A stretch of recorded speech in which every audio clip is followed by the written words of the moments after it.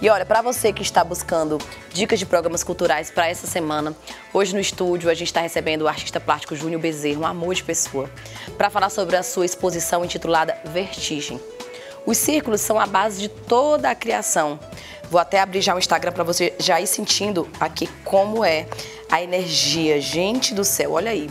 A base de toda a criação que permite envolver o espectador em um mundo mágico, onde subjetivo, né? Onde o olhar se perde e se encontra várias vezes como um giro na forma geométrica. Olha aqui, você tá vendo aqui a imagem, coisa mais linda.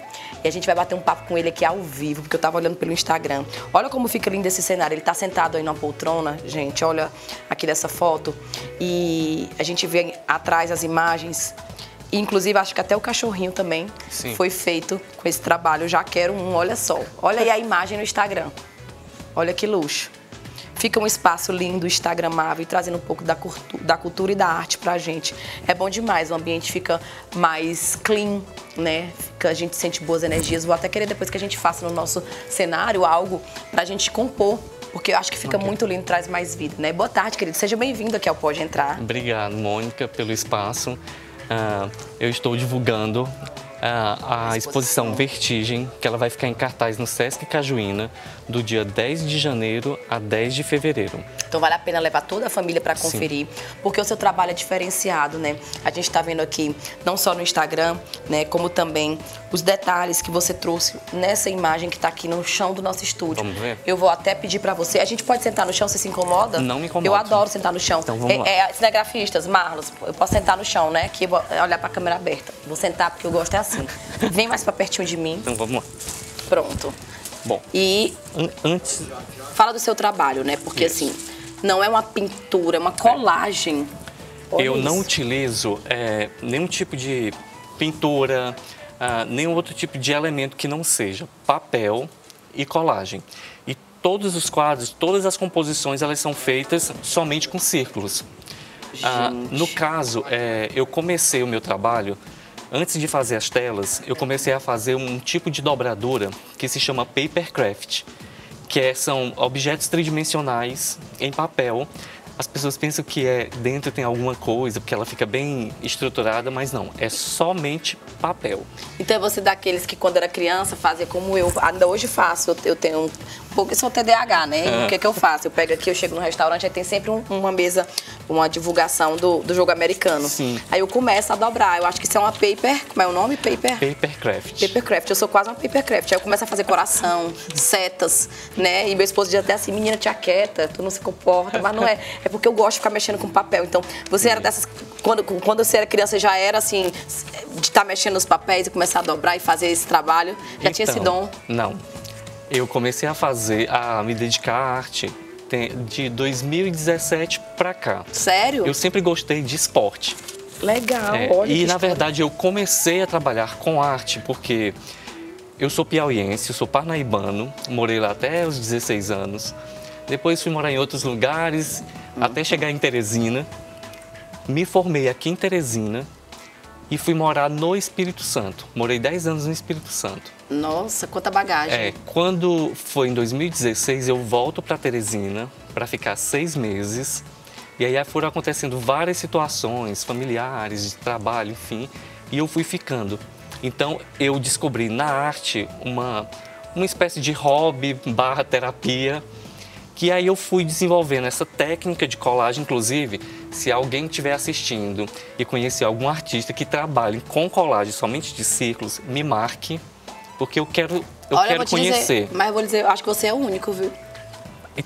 inclusive... Eu te juro, eu nunca vi, já fiz muitas entrevistas e tudo. Claro que eu não tenho a bagagem que você tem, né? Mas olha só, gente, eu só tô assim chocada. Ó. Pode ser considerado mosaico?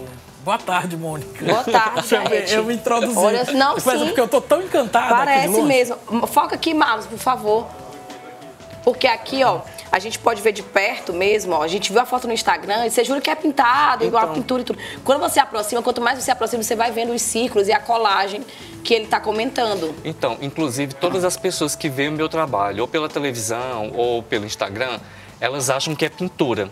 E elas só ficam realmente surpresas quando elas vêm ao vivo. Eu tô chocada quando eu vi mesmo ao vivo, que eu peguei, que eu fui olhando. Isso. E você comentando. E engraçado, me trouxe uma paz, porque eu sou uma pessoa muito ativa.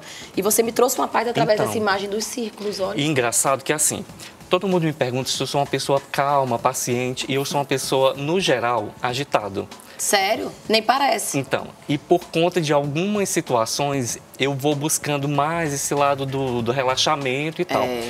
Quando eu vou fazer esses trabalhos, eu coloco um fone e eu sempre estou ouvindo ou música de Uma barulho playlist. de mar ou de vento ou alguma coisa para me deixar mais calmo. Legal. Então, geralmente quando eu estou muito agitado, eu começo a fazer. E quando você começa a fazer, por exemplo, colocou o fone, tô ouvindo aqui um barulho do mar. E aí você leva quanto tempo e também, tipo, você já tem em mente o que você vai fazer através daqueles círculos ou vai fluindo, vem de dentro? Não. Eu, só, eu costumo fazer séries. Então, é assim, primeiro eu escolho um tema, desenvolvo o nome de todas as telas Você- ou um conceito. Então, quando eu vou começar a fazer, eu já sei quais as imagens que eu vou fazer e o porquê. Massa. No caso, essa- essas imagens, elas são de uma série chamada Identidade. São 10 imagens, que são cinco homens e cinco mulheres, Massa. como se fossem fotos 3x4, aonde eu tenho um negro, um branco, um- uma pessoa com vitiligo, uma pessoa com albino. Massa. E elas não têm os traços dos olhos, nariz, justamente para as pessoas se identificarem com o tipo de cabelo ou com o estilo de roupa. Sim. Alguma característica como é que meu elas se caso, se identificou com todas, né? Essas duas aqui eu já amei. Perfeita, E gente. todas elas da série, ela tem- elas têm o cabelo branco. Porque não necessariamente a pessoa que nasceu com cabelo preto, ela vai morrer com cabelo preto. Não, então, é. justamente para as pessoas se identificarem com o tipo de corte e não com a cor dos cabelos. Muito então são legal. 10. Essa, Aqui essas foi, a imagens. coleção, aqui foi a, a série é, que você criou, que é a Identidade.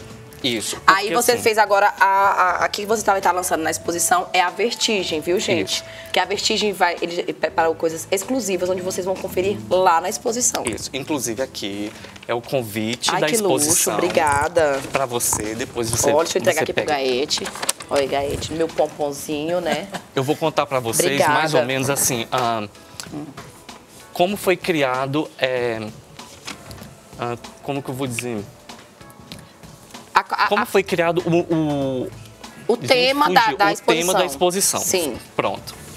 Eu fui convidado por uma empresa de consultoria em projetos culturais do Espírito Santo, que se chama Corpo Consultoria, Uhum. Sim. que eles viram o meu trabalho, acharam interessante porque é diferente de- do tradicional. Não, de tudo que a gente já viu, certeza. E viu? aí eles, eles escreveram um projeto cultural e enviaram para o Ministério da Cultura para ser avaliado, para a gente tentar fazer uma exposição utilizando a Lei Rouanet. Sim. Aí foi aprovado. Então eu tive que criar uma narrativa, era essa a palavra que eu estava buscando. Eu tive que criar uma narrativa em cima do meu trabalho para apresentar nesse projeto. Sim. Então, o tema vertigem é justamente porque as pessoas me perguntam, Júnior, quando você está colando, você fica tonto?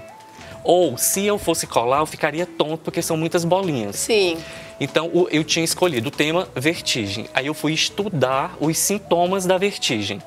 Então, eu descobri que existe a vertigem central e a periférica. Sério? Então, na exposição, todas as telas vão ser inspiradas na vertigem periférica, que é aquela do ossinho que inflama, que o ossinho se chama labirinto e tal.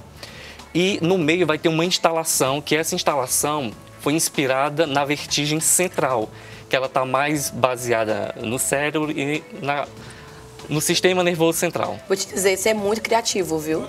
Tá de parabéns. Gente do céu. Isso. Olha, é tão bem feito que dá, dá pra fazer até como se fosse... É, viu? Pra- Dá pra fazer até uma roupa, né? Olha só que Já tudo. está pensando em possibilidades. Já, possibilidade. Até pro carnaval mesmo, gente. Que coisa Tudo mais bom. maravilhosa, né? Onde vai ser agora a exposição? Começa Aí ser aqui no tá o convite, né? Só pra convite. gente Ah, tá aqui, reforçar. Então. Que vai ser no Sesc, né, Cajuína, a partir do dia 10 de janeiro. Ah, vem cá, e o cachorrinho, me conta a história Então, dele. Papercraft é essa técnica, essa obra aqui é uma obra minha. Isso é tudo papel. No eu lembrei caso... de um cachorrinho no Big Brother, inclusive. É, Sim. Né, teve é a um mesma reality técnica. que foi essa técnica daqui, o animal lá. E, Exato. E, e, e, foi feito e virou realmente assim um objeto de desejo das pessoas terem em casa como objeto decorativo. Mas né? aqueles objetos, eles são feitos de resina. Sim. Existe uma impressora 3D Sim. que faz. No caso, eu faço de papel. Uhum. E essa, essa estampa é uma estampa de um granito calacata, que quando eu dobro, as pessoas têm a impressão de que realmente é esculpido no granito. Perfeito, o calacata que é igual o porcelanato, Sim. né? Que, que a gente tem até aqui no nosso MDF Exato. aqui. É esse calacata, pedra, amei. Assim. E no caso, o outro que tem na foto, eu fiz ele e depois eu peguei revistinhas de gibi, Sim. cortei tudo de bolinha Mentira. e colei ele inteiro. Então é como se fosse um pop art do Bulldog. Ah, eu amei aquele bulldog. É, tá na sua casa, é? Tá. Show de bola. Ele é, é seu xodó, né? É. Então tá aqui, gente, o Mistério da Cultura e o artista Júnior Bezerra, esse maravilhoso Isso. que tá aqui do meu lado. Apresento pra vocês a exposição Vertigem, que vai ser dia 10 de janeiro na Galeria Sesc Cajuína, a partir das 7 horas, o coquetel. Exato. E o período da exposição vai ficar de 10 de janeiro até 10 de fevereiro, pra levar a criançada, levar toda a Isso. família pra conferir esse momento e, e a gente valorizar o que é nosso, né? Com o artista e curador da exposição, que é você, Júnior. No caso, essa exposição do Sesc Cajuína foi criada uma programação específica para a exposição, que vai contar com oficinas de colagens, que eu vou ensinar as pessoas a se desafiar, colar bolinhas. Vai ter Sério? Isso. Vai ter visitas guiadas comigo para eu mostrar como que é feito o processo criativo da das telas, ah, os bastidores da exposição. E também vai ter um bate-papo comigo que depois vai ser divulgado pelo Sesc Cajuína. Quanto tempo leva para fazer, por exemplo, um como, um como esse? Dos- Dependendo da minha demanda e da, e da minha logística do dia, uma semana, dez dias. Sério? Sim. Ou seja, gente, é, é um, é um trabalho que requer dedicação, muito amor. Você está de parabéns. Obrigado. Você pretende dar cursos, ministrar cursos para as pessoas que se interessarem? Então. Ainda não está no Não. script, né? Não, porque eu tenho uma outra demanda que é bem desafiadora, que assim, por isso que eu descobri a arte como forma de me acalmar. Porque eu vim para Teresina e eu tenho um irmão que é especial e ele precisa de cuidados e eu Sim. meio que assumi essa E situação. é, é, assim, é uma dedicação exclusiva, né? A gente sabe. Então, é para me acalmar da agitação, veio as bolinhas. Tá aí, gente, olha aí, maravilha. É, quem ainda não conhece o trabalho do Júnior, siga ele no Instagram, que é Isso. o Instagram Paper Art Studio 086. Vamos deixar aí no vídeo e também no nosso Instagram do Pode Entrar. Foi um prazer te conhecer. Obrigada demais pelo Igualmente. convite, que além Espero de lindo, é cheiroso, até maravilhoso. Gaete, você gostou aí do convite? Tudo de bom. Eu Nós vamos dar uma passada adorei. por lá e o Ah, Gaete, tá bom? É, e volte sempre trazendo mais novidades, porque eu sei que a cada estação ou época, não sei como eu posso falar, né? Você vem trazendo aí sempre uma exposição diferente, Isso. né? No caso, essa exposição Vertigem, assim que ela for desmontada aqui em Teresina, ela vai ser montada no Sesc Cultural de Parnaíba, também vai ficar um mês. Ah, maravilhoso. No segundo semestre, ela vai para o Espírito Santo. Aí, quem sabe, ela rode em outros lugares. Ou seja, ela vai percorrer tudo, onde- todos os lugares que você já morou, Isso, né? durante que vai um ser ano, tudo. exatamente. Adorei, ótima ideia. Ótima ideia. Mas olha, obrigada, volte sempre. Obrigado.